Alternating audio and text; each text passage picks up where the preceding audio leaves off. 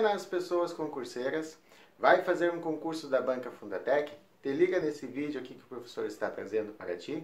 São questões de matemática, questões que caem em concursos frequentemente em, em concursos da Banca Fundatec. E dá para se dizer também que essas questões muitas vezes a banca inclui nas provas de raciocínio lógico. Então, tanto raciocínio lógico quanto matemática, esse vídeo vai te ajudar. E aí, lembra, dá aquele clicaço lá no sininho no YouTube para te inscrever aqui no nosso canal. Faça parte da nossa comunidade. Ajuda o professor. Quanto mais inscritos, mais relevância a gente ganha. E deixa aqui o teu comentário sobre o vídeo, sobre as questões, se está te ajudando, se não está te ajudando. E se tu quiser que o professor resolva alguma prova para ti, manda lá no direct do Instagram essa prova que o professor vai colocar na fila e vai resolver. Certo, pessoal? Um abraço e até o próximo vídeo. Capaz! Seguimos aí, vamos resolver essas questões. Partiu!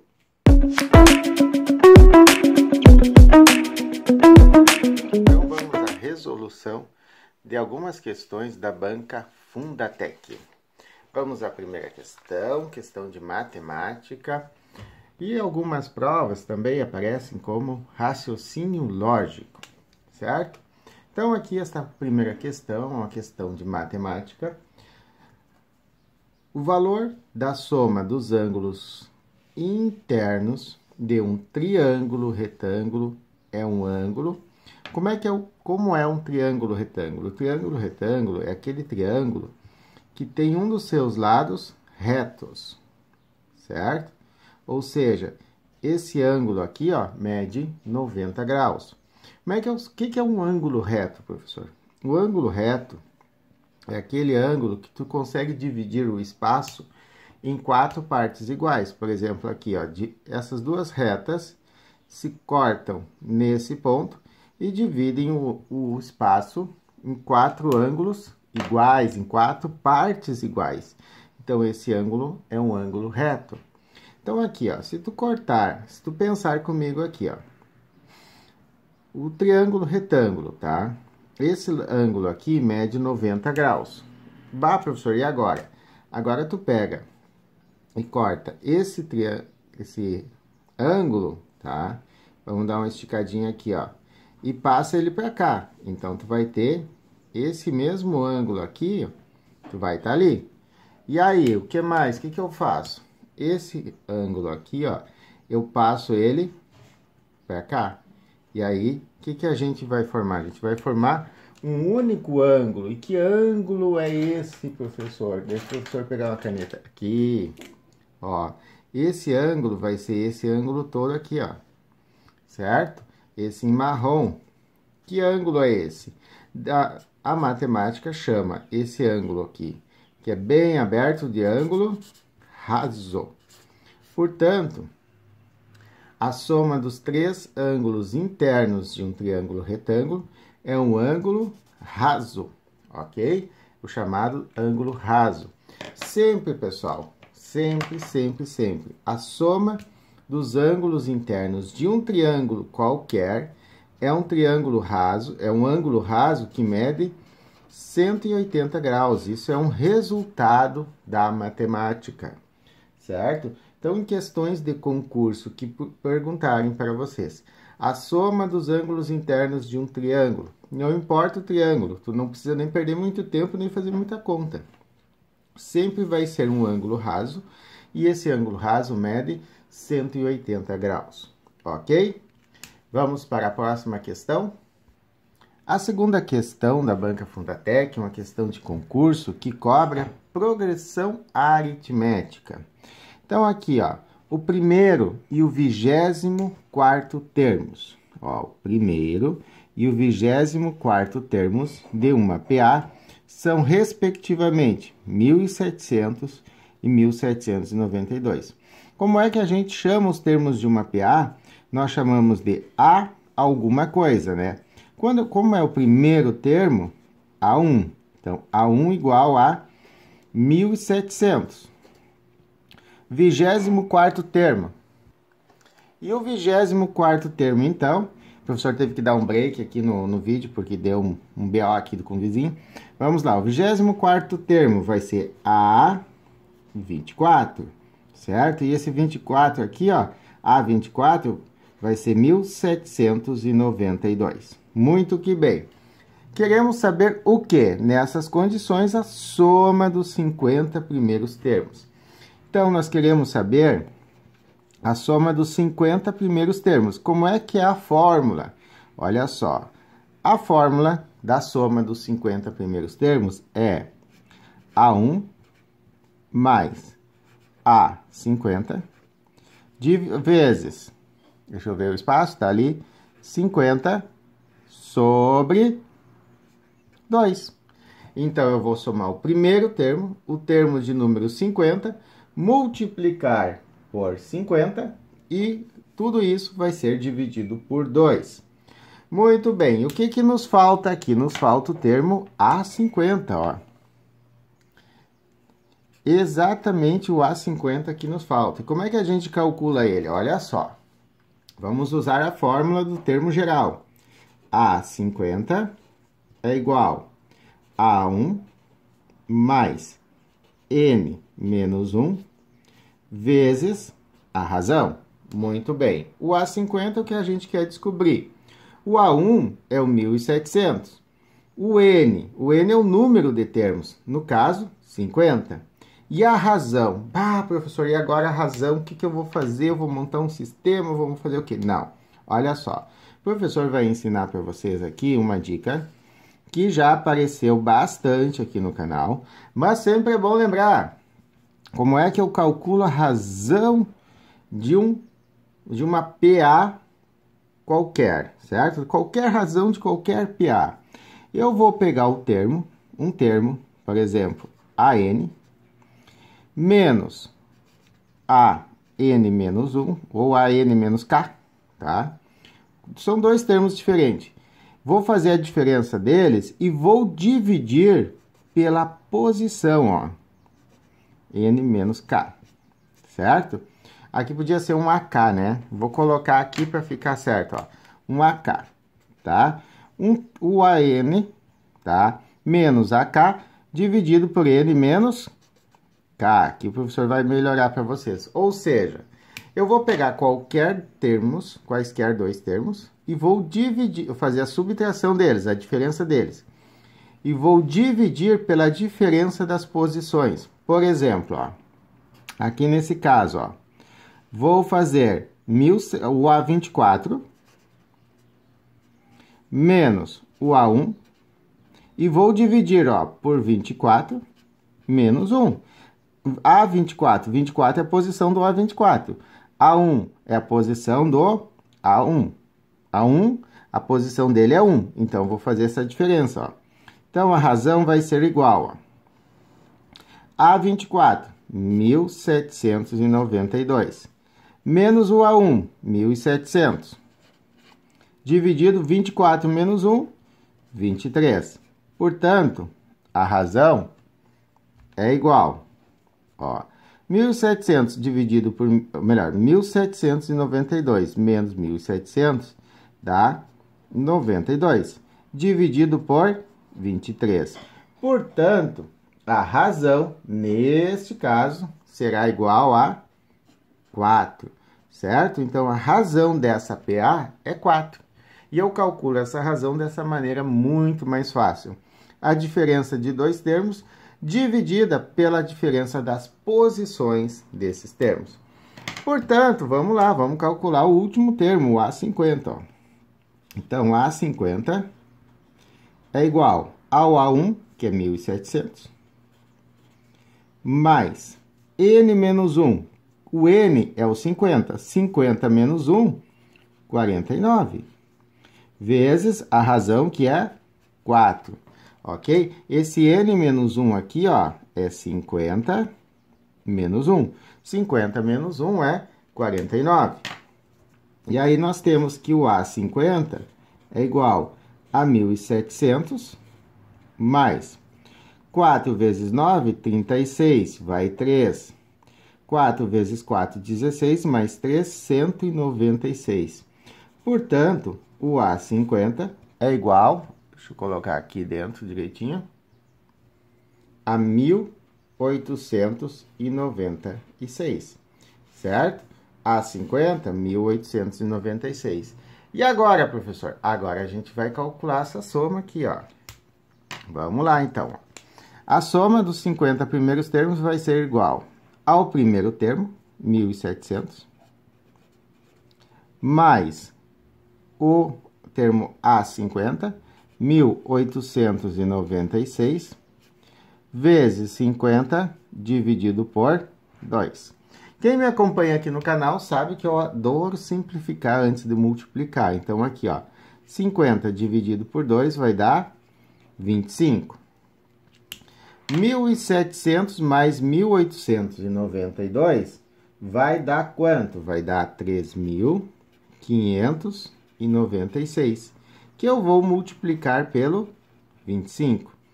Portanto, a soma dos 50 primeiros termos vai ser igual a 1.390, 1.500, opa, 3.596 vezes 25. Isso vai dar 89.900, certo? Então, essa será a soma dos 50 primeiros termos. Gabarito, alternativa B de Bósnia-Herzegovina. Certo, pessoal? Então, aqui uma questão de matemática. Prova Banca Fundatec. Certo? Uma questão de concurso aí de nível superior, se não me engano, ou nível médio. É, geralmente, questões de PA caem em prova de nível superior, tá? Mas a, a banca Fundatec, ela é meia danada, de vez em quando numa questão, uma prova de nível médio, ela pede também PA, certo? Então, tanto concurso para nível médio quanto para nível superior, é importante tu saber progressão aritmética. E o que, que a banca costuma cobrar, professor? Ela costuma cobrar ó, o termo geral, tá?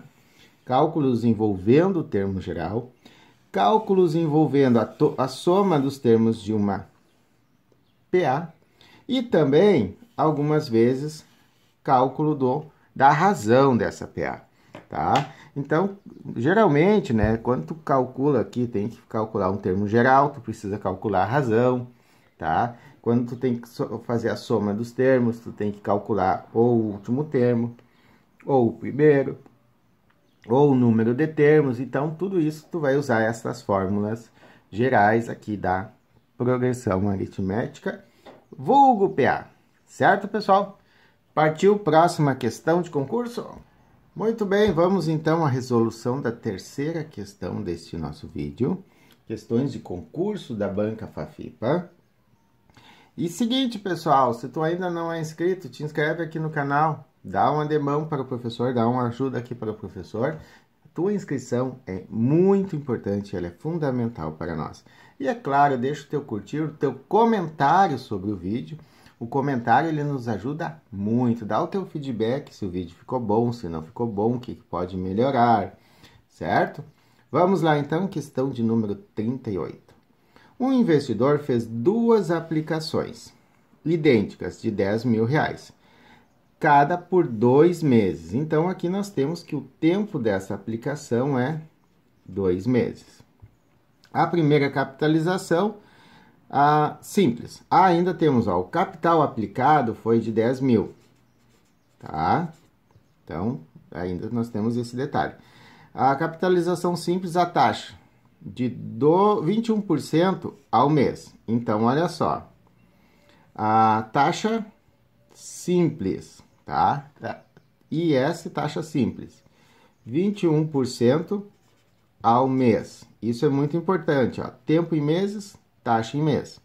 A segunda, no sistema de capitalização composto, então a taxa composta, 20% ao mês. Considerando o período final olhar. Considerando o final do período de aplicação, analise as, seguintes, as afirmações abaixo. Primeira afirmação.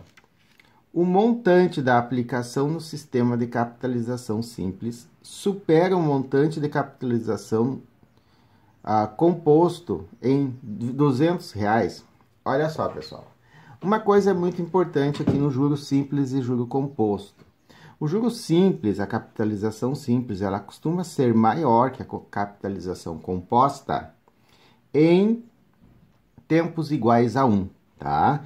Quando é um mês, um ano, a taxa ao ano, aí a capitalização simples, ela é maior que a composta, certo? A capitalização simples, olha só, tá aqui.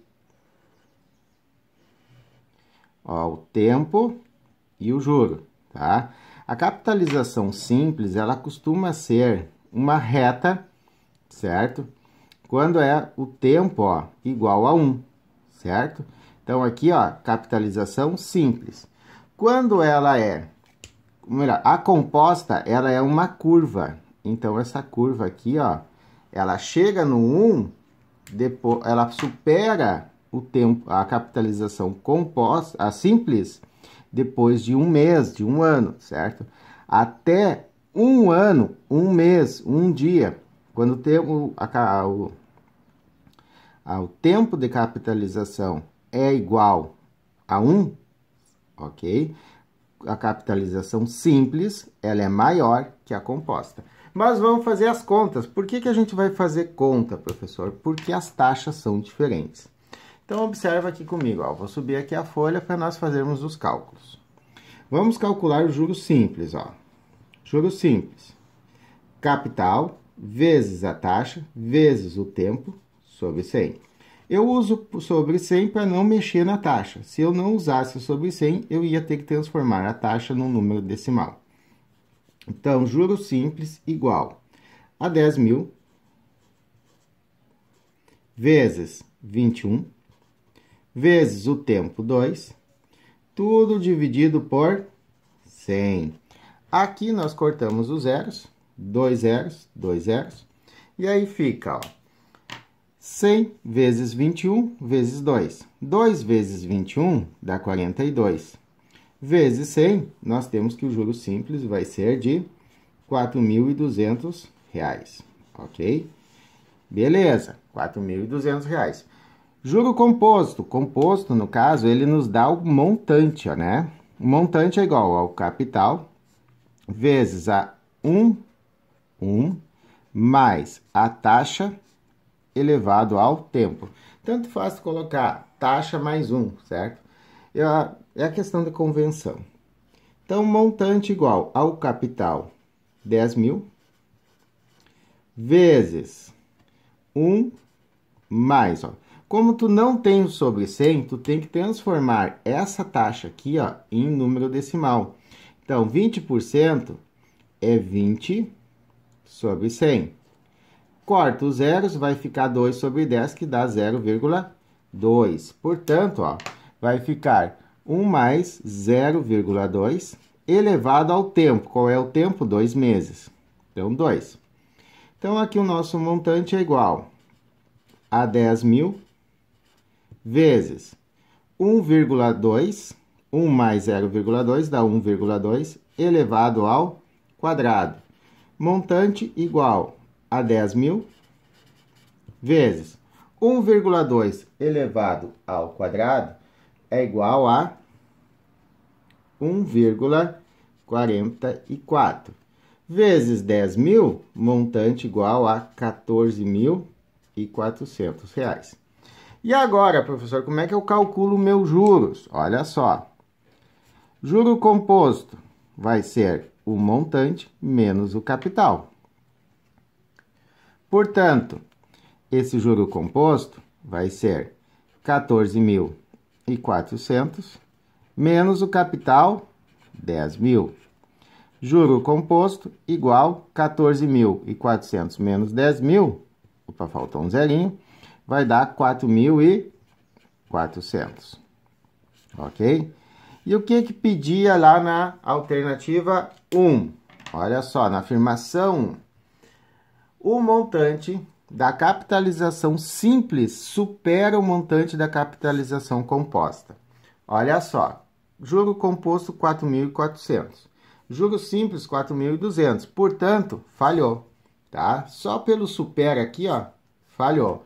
Então, a afirmação 1 está errada, ok? Porque o juro composto supera o juro simples. Por que, que ele supera o juro simples? Ó? Porque o tempo é maior que 1. Portanto, o juro composto sempre vai dar maior que o juro simples. A afirmação 2. A soma dos juros auferidos, dos juros gerados, né? Ah, nas aplicações é inferior a 8.500. Olha só, para te saber isso aqui, o que que tu faz, ó? Vai pegar 4.400 e vai somar com 4.200.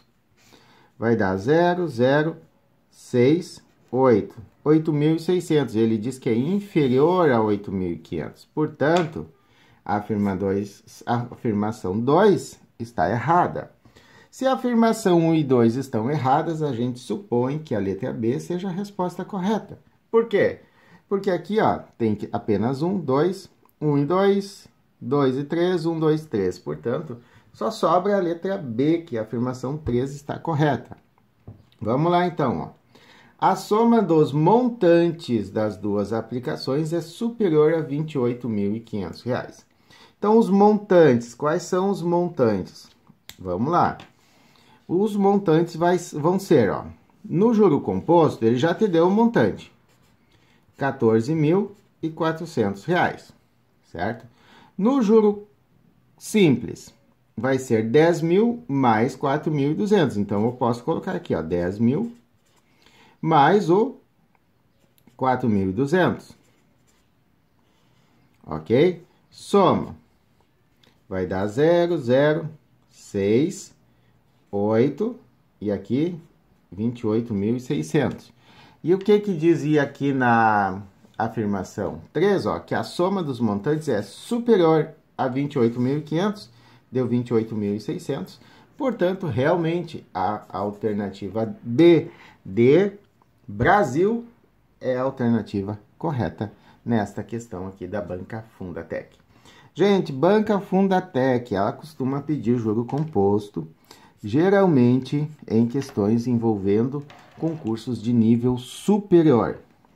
Nível médio ou fundamental, ela costuma pedir questões envolvendo juros simples, tá? Então, essa questão é uma questão de, de nível superior. Eu falhei ao olhar, ao não trazer para vocês aqui, mas eu coloco nos comentários depois. Se não me engano, é nível superior essa prova, certo?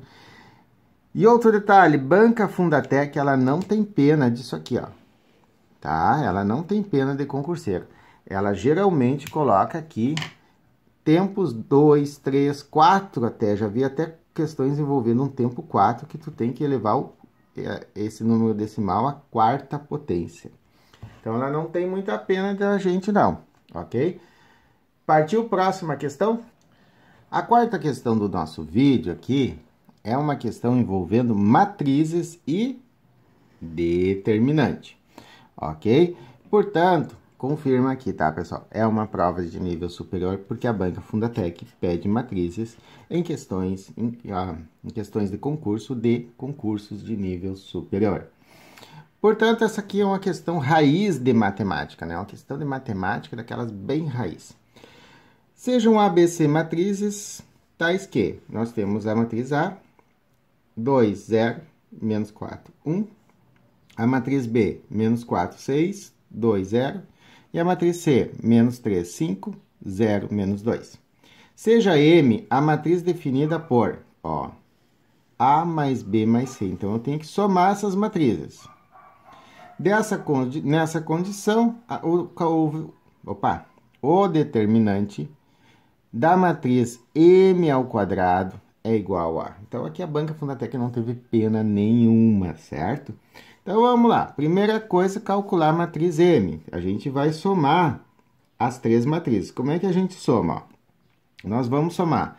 Aqui nós temos o chamado termo A11. Ó. Então, eu vou somar os três termos A11, tá? Por que A11? Ó? A11 é a coluna 1 mais, ou melhor, é o termo da coluna 1, linha 1. Depois aqui tu vai ter o termo A12, que é o termo da coluna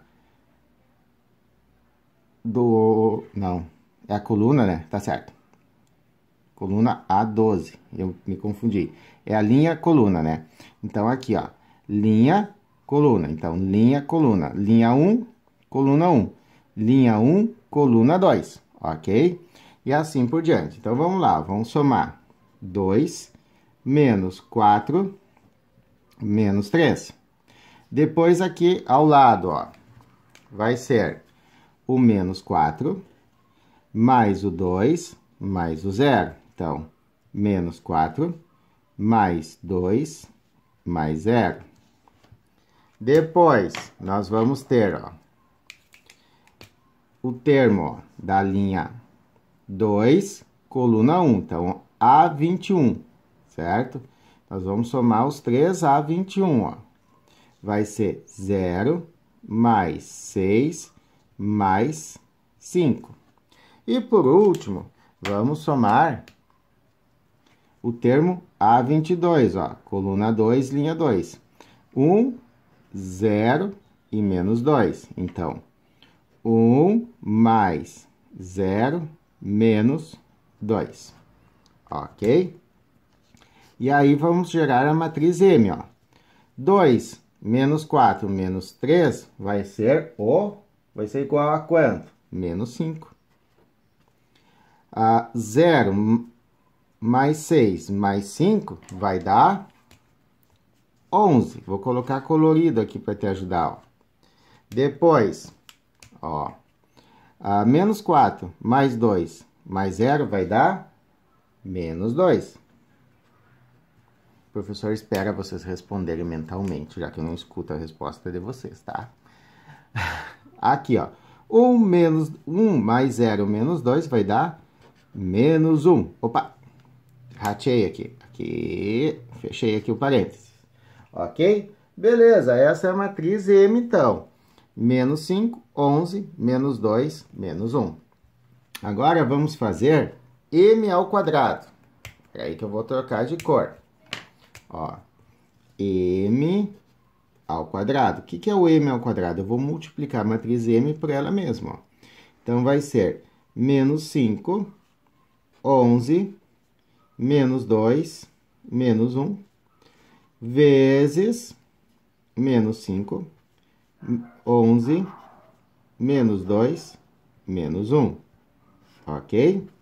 E agora, professor? Agora a gente faz aqui, ó. Linha 1 vezes coluna 1, tá? O professor vai tentar fazer colorido, ó. Linha 1 vezes coluna 1. Então, vamos lá, ó. Vai ficar, ó. Aqui para te entender, ó.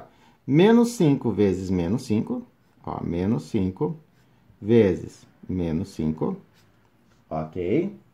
Mais, ó, menos 2 vezes menos vezes 11, ok? Então, eu fiz o quê, ó? Linha 1 vezes coluna 1. Menos 5 vezes menos 5, mais menos 2 vezes menos 11, vezes 11, ok? Depois, a gente faz, ó. Linha 1 vezes coluna 2. Então, aqui, menos 5 vezes menos 2, mais a menos 2 vezes menos 1, ok? Na sequência, olha só, vamos fazer linha 2 vezes coluna 1. Então, vai ficar 11 vezes menos 5, mais menos 1 vezes 11, certo? E agora, agora terminou minhas cores, eu vou ter que repetir a cor aqui, ó. Linha 2 vezes coluna 2, ó. Então, vai ficar 11 vezes menos 2, mais menos 1 vezes menos 1, certo? Fechamos aqui. E agora, ó, vamos ter a matriz m ao quadrado vai ser, olha só, deixa eu ajeitar aqui. Ah, deixa eu pegar o vermelho. Deixa eu pegar a canetinha vermelha. Ah, 5 vezes menos, ou melhor, menos 5 vezes menos 5 dá 25, mais menos 2 vezes 11 dá menos 22. Então, fica 25 menos 22, que vai dar quanto? 25 menos 22 vai dar 3, ok? E a seguinte, ó, opa, menos 5 vezes menos 2 dá 10, mais menos 2 vezes menos 1 dá 2. Então, menos 5 vezes menos 2, 10. Menos 2 vezes menos 1, 2. 10 mais 2 vai dar 12. Ok? Na sequência, olha só. 11 vezes menos 5 dá menos 55. Um, menos 1 vezes 11 dá menos 11. Menos 55 mais menos 11 vai dar menos 66, certo? E por último, olha só, 11 vezes menos 2, menos 22. Menos 1 vezes menos 1, mais 1. Menos 22 mais 1 vai dar menos 21, ok? Então, essa é a matriz quadrada M, tá? M ao quadrado vai ser 3 menos 66 12 e menos 21. Vamos agora ao cálculo do determinante dessa matriz, ó. Então, vamos lá, ó. Determinante da matriz quadrada é igual. Tu vai pegar, ó, a vai copiar a matriz 3 menos 66, 12 menos 21, ok? E aí, tu vai multiplicar as diagonais, ó essa diagonal, a primeira diagonal, 3 vezes menos 21, ok? E depois, uh, mais, não, mais não, menos, desculpa, menos, ó, a segunda diagonal. Qual é a segunda diagonal? A diagonal aqui, ó, trocada, ó. Menos 66 vezes 12. Aqui, minha gente, eu vou pôr um colchete, certo? 3 vezes menos 21 dá menos 63. Menos. Menos 66 vezes 12 vai dar quanto? 792. Mas como os dois são negativos, vai ficar positivo. Dá mais 792. E aí, olha só menos 63 mais 792 resulta 729. Portanto, a resposta correta, tá? O professor cometeu um erro, por isso que o professor teve que voltar aqui, ó. A resposta correta for, é a letra D de Dinamarca, certo? Então, vamos à próxima questão. A última questão da nossa, do nosso vídeo de hoje, ó, a figura abaixo mostra as dimensões da planta baixa de uma sala, em que todos os vértices são ângulos retos, ou seja, aqui está sempre ângulo reto. Então, tu tem aqui retângulos e, melhor, e retângulos, né?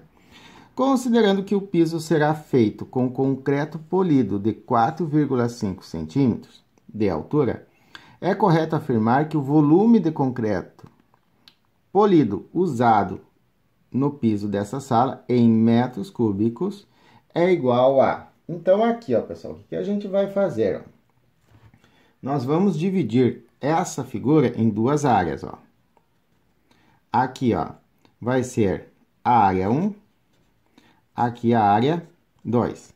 E aí, nós vamos ter que a área total vai ser a área 1 mais a área 2, tá? Primeira coisa que a gente vai calcular é a área. Já vou mostrar o porquê. Então, vamos calcular a área dessa sala. Então, aqui, ó, área total. Área 1, 2 vezes 3. Por que, que é 2 vezes 3? Como é um retângulo, é o, a, o comprimento vezes a largura. Mais área 2, ó, comprimento, 7, vezes a largura, 5. Então, a área total dessa sala vai ser 6 vezes, melhor, 2 vezes 3, 6. Mais 7 vezes 5, 35. Portanto, a área total dessa sala é 41 metros quadrados.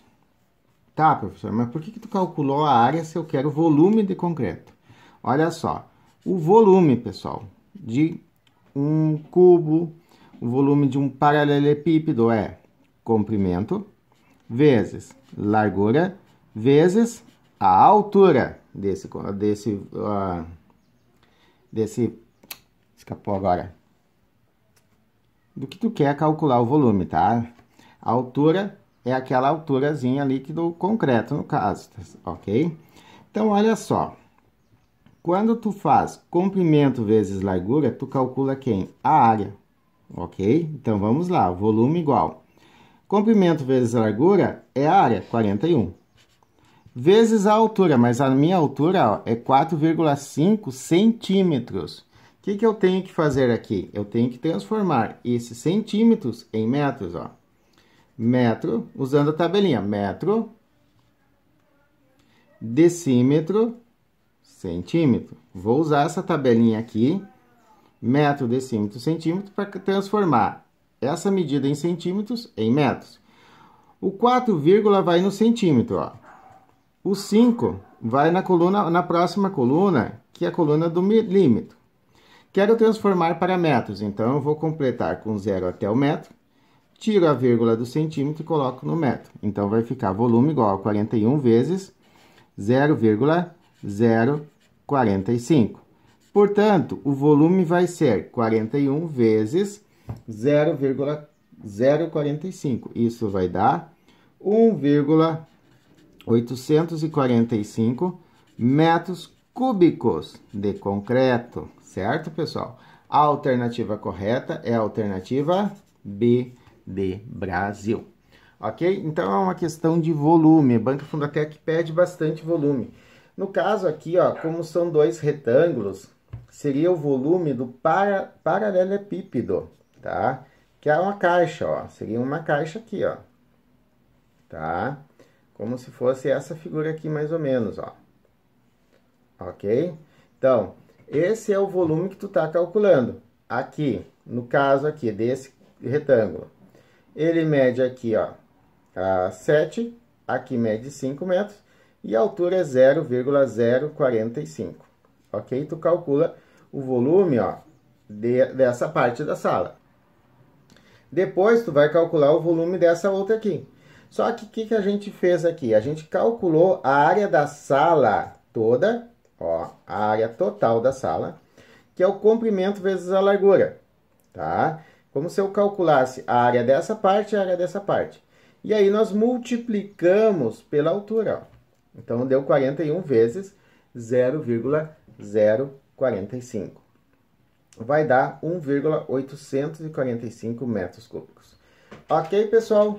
Gratidão pela audiência e vamos assim seguindo. Próximo vídeo, próximo concurso que nós vamos ganhar, gabaritar, vamos ganhar da Banca Fundatec questões de matemática, raciocínio lógico. E é claro, curte esse vídeo, te inscreve aqui no canal. Obrigadão, minha gente. Um abraço e assim seguimos.